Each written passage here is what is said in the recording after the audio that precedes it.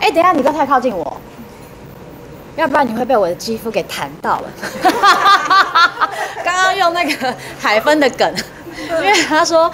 因为用完 Free Plus 福利斯，皮肤就会很保水、很有弹性，所以身边的人要小心一点，不能太靠近我，因为会被我的肌肤弹到，是不是很浮夸？这也是呃变相的土味情话的一种。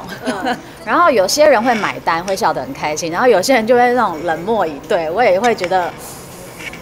有种被虐的愉快感。